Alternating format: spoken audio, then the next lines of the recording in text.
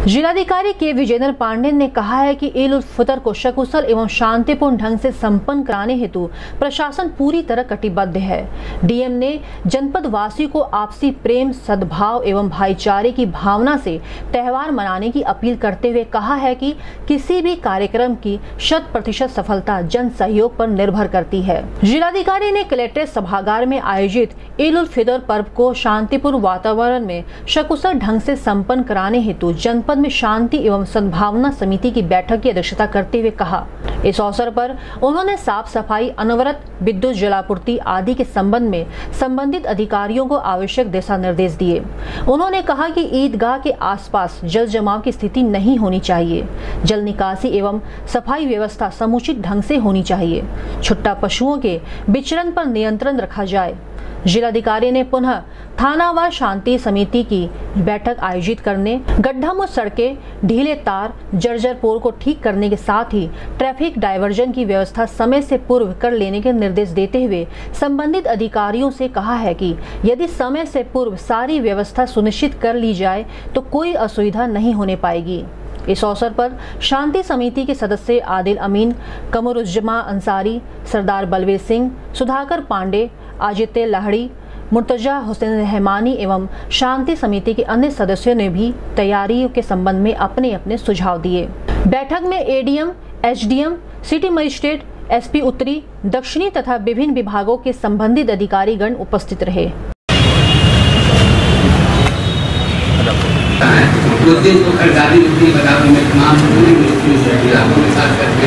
सड़कों पर जो है, दस किलोमीटर रहती है। लाइट की व्यवस्था रखा जाए, खास करके जो गोरखनाथ का इलाका है और शाहमालू का इलाका है दोनों बड़ी मज़बूत रहती है, बराबर खरीदारी होती है। हमारे एक्टिविटी का मौजूद है, मेरे यहाँ के बहुत शांति के लोग हैं। बड़े ही मेहनत और उसके साथ लोग लगे रहते हैं और शासन प्रशासन पहले तो एक दिन इसको हुआ है कि उसमें हमारी परंपरा का दस है। उनके साथ हमारे बहुत ही सीनियर मेंबर थे, उनके लिए लास्ट में गवर्नमेंट के लिए माननीय आपने बदला अभी हमारे कमरुल जमा साहब ने बताया है। हम भाग्यशाली हैं कि आप जैसे डीएम हमको मिल गए, और आप भाग्यशाली हैं कि आप हमारे जैसे जनता मिल गए। ये जान लीजिए उत्तर प्रदेश के किसी ज़िले में ऐसा संबंध नहीं होगा। उत्तर प्रदेश के किसी ज़िले में इतना बढ़िया वो नहीं होगा, इसलिए आप भी भाग्यशाली और हम भी भाग्यशाली हैं, दोनों भाग्यशाली हैं। और आप विश्वास करें ये बात है ईद की नमाज़ हो रही थी हम लोग मौजूद थे जानवर गाय आ गई। और आकर नवाजियों में घुस रही लेकिन हमारे नवाज़ भाई और नवाजी भाई ने कोई परेशानी नहीं की हम मौजूद थे। बड़ा अच्छा दूसरी जगह अगर यही जिला पश्चिमी पश्चिमी जिला होता तो जगह क्या से क्या होता। हम पश्चिम के ही रहने वाले हैं। निश्चिंत रहें लेकिन अपने प्लान हाँ एक चीज़ आपको बता देंगे सफ़ाई व्यवस्था आपकी ठीक नहीं है। निश्चित जान लीजिए हम पैदल चलते हैं इसलिए हमें सब जानकारी निकल करके नालियाँ बच बजा रही थी। पूरे के ढेर के ढेर पड़े थे। और एक चीज़ और बता दूँ आपको, कि हमसे भरोसे नहीं रहना चाहिए। मेरी उम्र दो हज़ार अठारह में इकतीस अगस्त को छियासी साल की हुई आप निश्चित जान लीजिए, मैंने अपने हाथ से कल नाली साफ़ की है, सड़क साफ़ की है रोज करता हूँ सड़क को लेकिन नाली में एक फिट पेड़ लगे हुए थे एक फिट की घास थी अपने हाथ से। समझ मैंने कोई एहसान नगर निगम के साथ नहीं किया।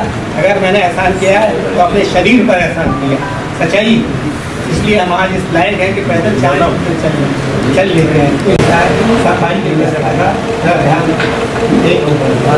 और पानी पानी बिजली का बिजली का लेटर जाता है आपके को बिजली न कटने बाद, क्योंकि पानी बिजली के ही आधार पर है।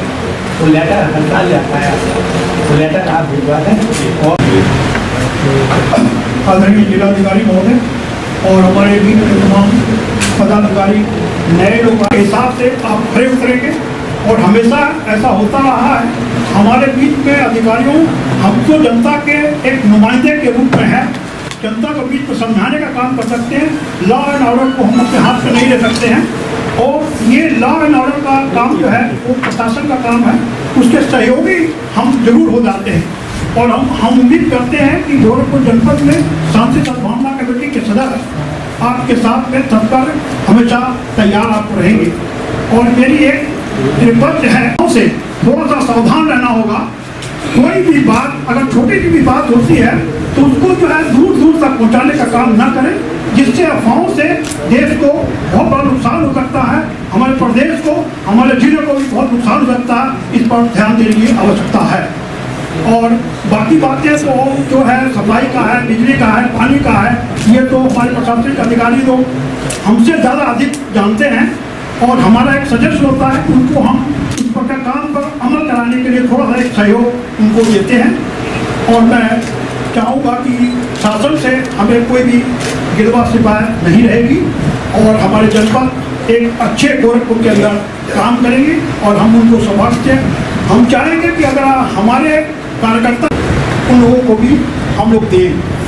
तो मैं इस कार्यक्रम के बाद एक प्रोग्राम बनेगा, जिसमें हम अपने अधिकारियों को भी और हमारे जो स्वयं सेवक जो है, अच्छे कार्य करते हैं, उनको भी सम्मानित करने का कार्यक्रम किया जाएगा।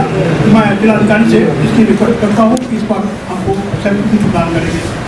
जय हिंद, जय भारत।